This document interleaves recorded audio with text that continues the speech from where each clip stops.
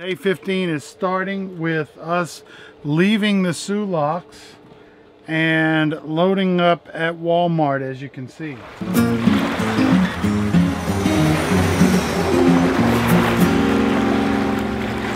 have about, oh, a stretch of four or five days here where we're not going to see a grocery store.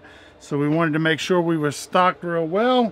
We're leaving Walmart here in the next little bit and we will be headed uh, westbound in the UP to our reservations tonight, which are in Tahquamenon Falls. Tahquamenon Falls. Have you heard of Tahquamenon Falls? No. Okay, you'll hear of it today. So we were about to pull out and we noticed something of interest. Plenty of things interesting in Walmart parking lots. What did we find, guys? Amish parking. Amish parking. So, if you look here, you got a trough with your water. Uh, you got your sign for your buggy. Apparently a buggy takes up the same width. Um, eh, horse's water looks uh, Questionable. Questionable. questionable at best. Anyway, Walmart, carriage parking. It's a thing. Apparently, because there's only one spot, they can only have like one to four Amish shopping at a time. So, if they're gonna have Amish, then you may want more parking. So we just got gas in Soo. Ran into a Canadian there at the gas station that comes across the border to get his get his gas over here. He said right now it's about four dollars a gallon on the other side, and uh, of course it's about 280 290 here. So we're headed westbound towards chippewa something and then tonight we'll be in Tahquamenon Falls. But this is what the UP has looked like so far. The road's basically straight as an arrow and uh, actually a little more interesting now with the pine trees. We didn't even have the pine trees a little ways back. This is Paradise Michigan First thing we've seen, pretty much.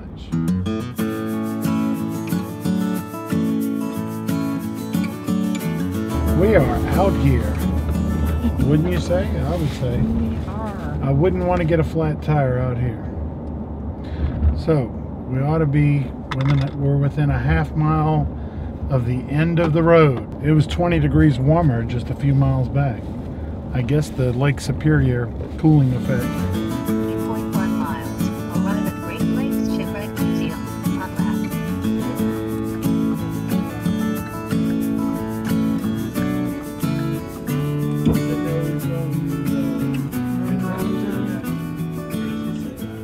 Here's the parking situation at Whitefish Point. It's just a gravel parking lot.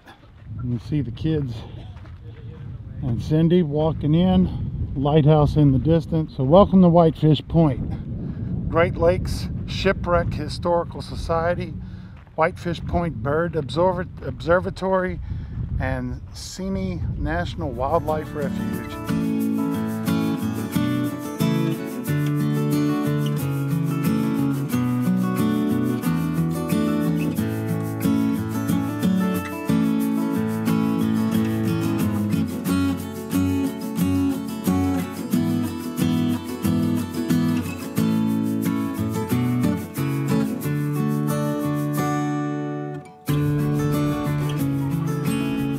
We're at Whitefish Point in uh, Paradise. No, we're in, at Whitefish Point, Michigan. The Shipwreck Museum, What lake are we looking at?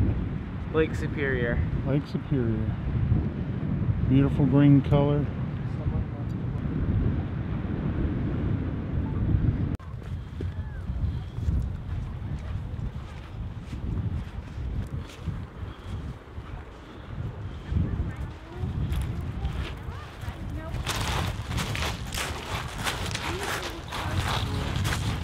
Eat your heart out, Florida. How you like this beach? Throw a towel out on this beach.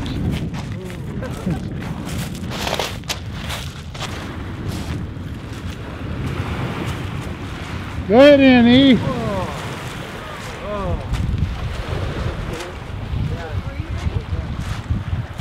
Just walk right in, Owen. Mom, go ahead and wait in that. It's as warm as it's nice to. I'm not. I swear. Hey, I didn't come this far for fingertips. Me get my shoe off. Oh my gosh. It looks like it's oh, oh, oh. It's cold. That is so cold. Come on, Owen. Mama did it. You do it. Heck no. Shoe on. Come on. Was it nice and warm? Yeah. So apparently no one will get in the water after they've touched it with their fingers. So I'm going in.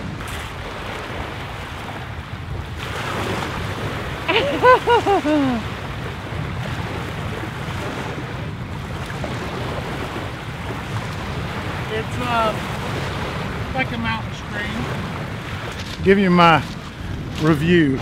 It's very similar to our mountain streams back in the Appalachian Mountains. Oh no, it's colder. I don't think so. I think it's colder. Alright,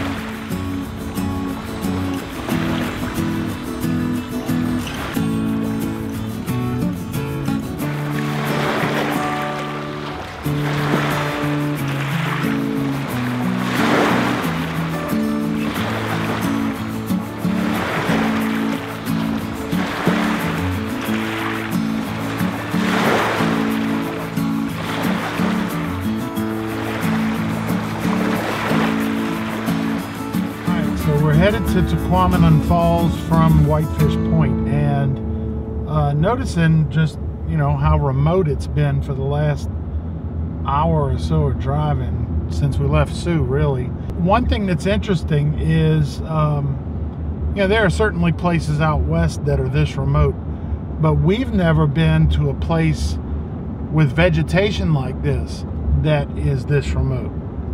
Um, you know, we've been lost out in Valley of the Gods and uh, places like that where there wasn't a soul around, but there were also no trees and vegetation. Uh, so this has a different, kind of a different character to it. I mean, if you broke down out here, boy, you'd be looking at a high tow bill. So come on, Seymour, get us there. Our first truck, the boys named Chevy. It was a Chevy. and when they were babies, they named it Chevy. And we had that truck until y'all were how old? Uh, uh, like I don't know, nine. When we sold that truck, the boys cried.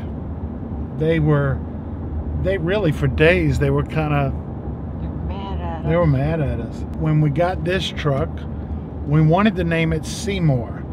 Not after the Long Long Honeymoon's truck Seymour, but I had an uncle named Seymour. And of course, it takes us to Seymour. So we came up with the idea independently of Loloho. And the boys are refusing to let us call this truck anything. Anyway, whether the boys name the truck Seymour or not, that's what I call the truck, and that's what it is. No, it's not. And they can be upset about it all they want. You're gonna get a lot of hate comments. Seymour is taking us to Tahquamenon Falls. Guys, Seymour has brought you on five summer adventures over 30,000 has. miles. The truck. Seymour. The truck.